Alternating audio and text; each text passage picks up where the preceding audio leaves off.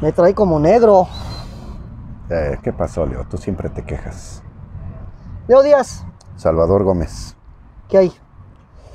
Fíjate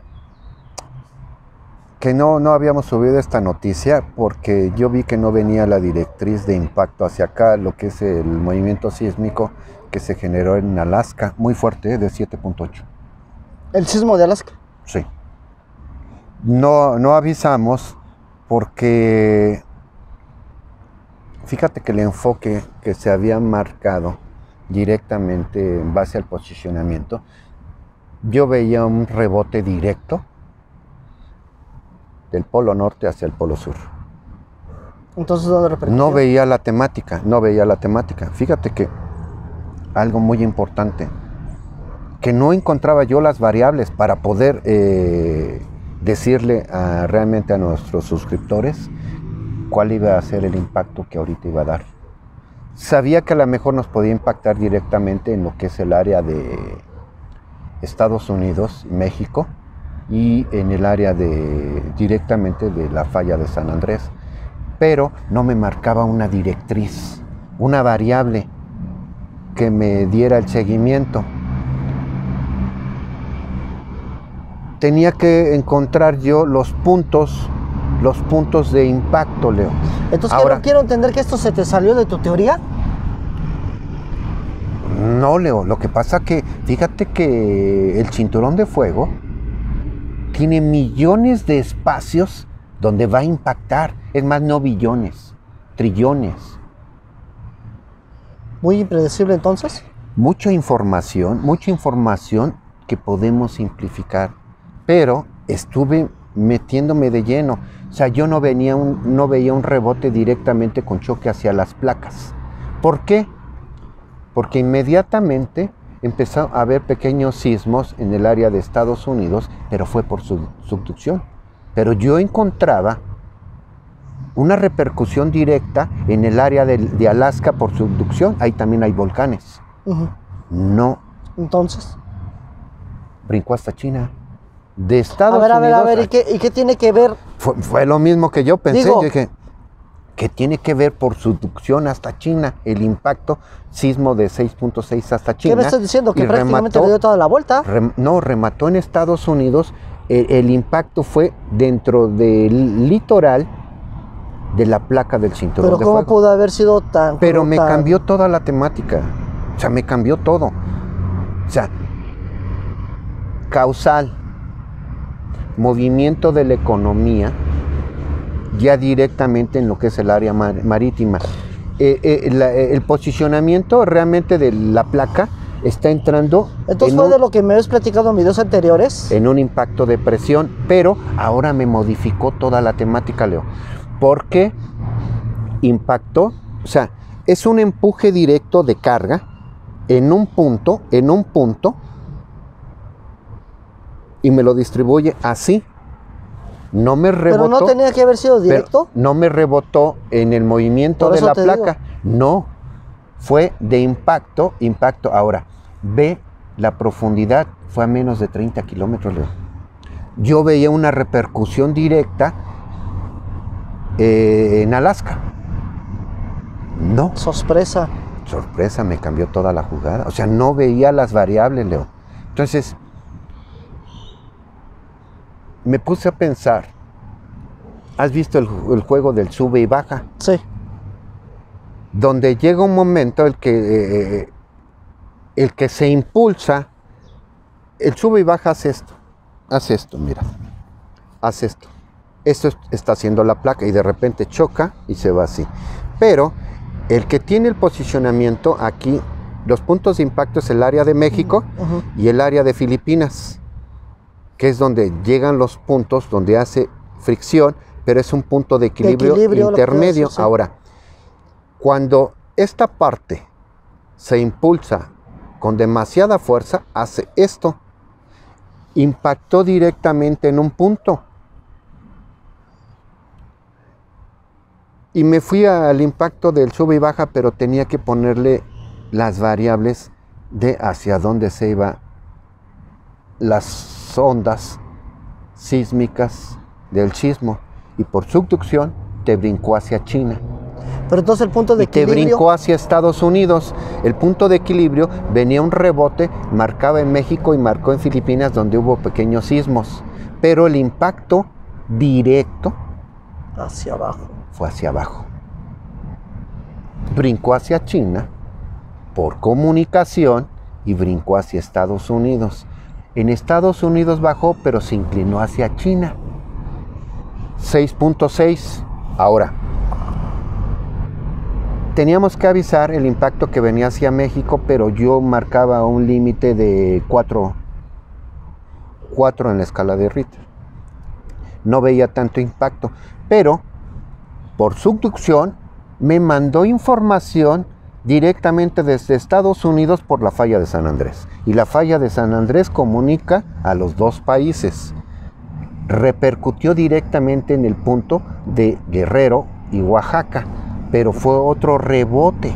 A ver, deja. Ahora, ¿cómo lo podemos definir? Este tipo de impactos, por ejemplo, yo ahorita aquí ten- tengo un charco de agua, donde si tú del otro lado me pones una pared, una pared, y yo brinco desde ahorita a una altura más o menos moderable, brinco sobre el charco y te hace el impacto. Por abajo, Pero te lo distribuye a pero los también, lados. también te lo llega a distribuir. Por eso habían marcado que si a los lados, en, en un punto superficial, podía venir un tsunami con tanta intensidad. Pero fue por subducción.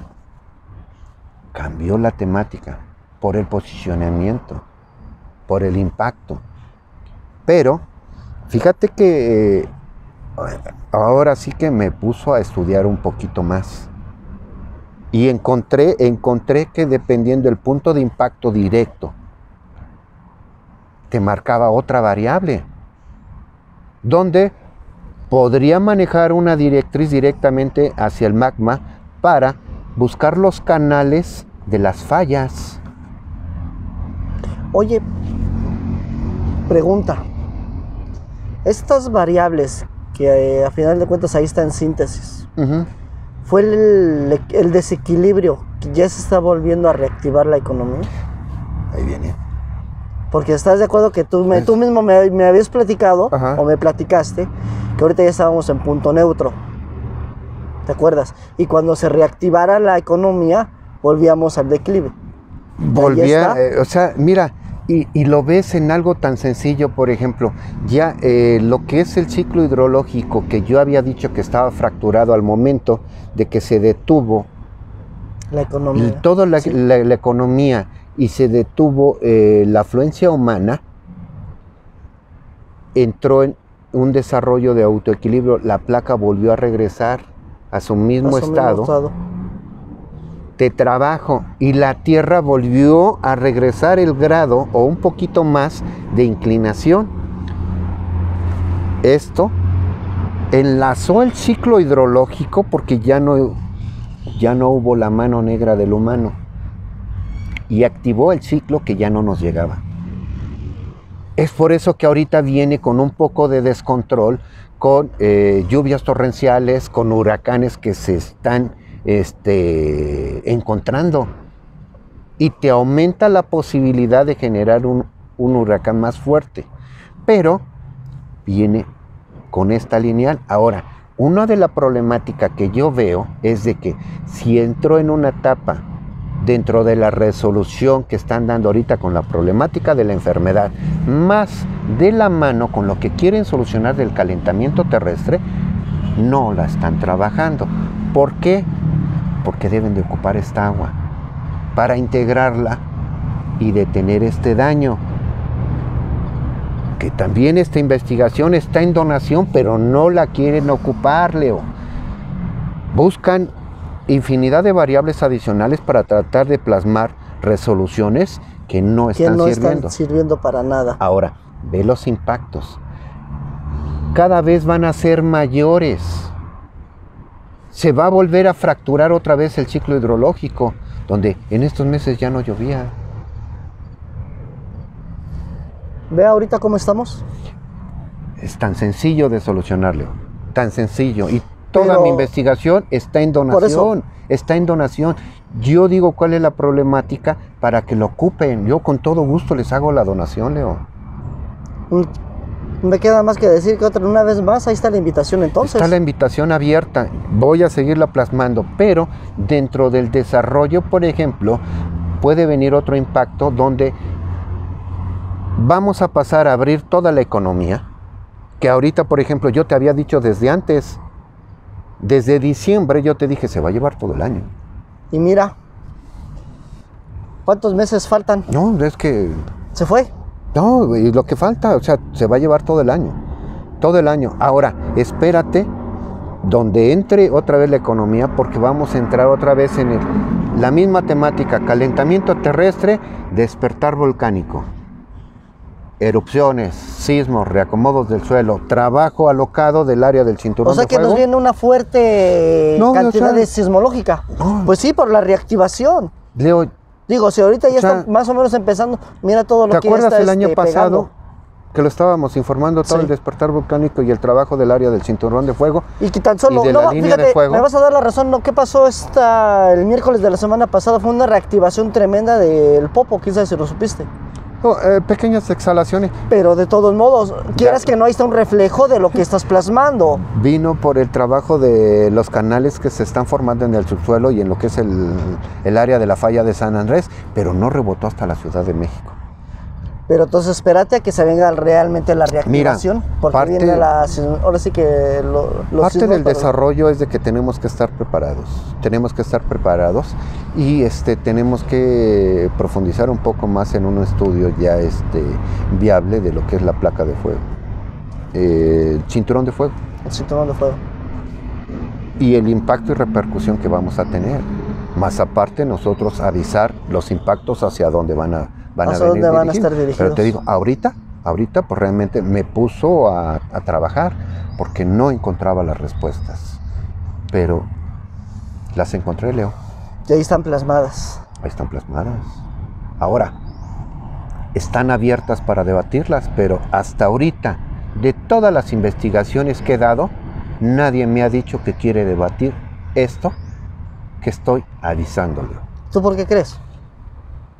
No es cualquier cosa. No, Leo, no es cualquier cosa. La verdad, la verdad, aquí Ahora- va, como tú dices, aquí lleva un desarrollo científico y mucho. No, y yo mucho tengo tiempo. respaldo de una teoría que he trabajado por muchos años, Leo. Y la patente está abierta. Todo, o sea, todas mis investigaciones ahorita están abiertas y están en donación. Si yo digo, esta investigación la dono, adelante. Adelante. Adelante. ¿Quién, quién es el gallo que dice, aquí estoy? Con todo gusto les entrego todo. Ahí está, señores, la teta invitación para decir quién levanta la mano, quién dijo yo. Seguimos ¿No? trabajando, Leo. Te digo, yo seguiré avisando, avisando cuando venga alguna variación.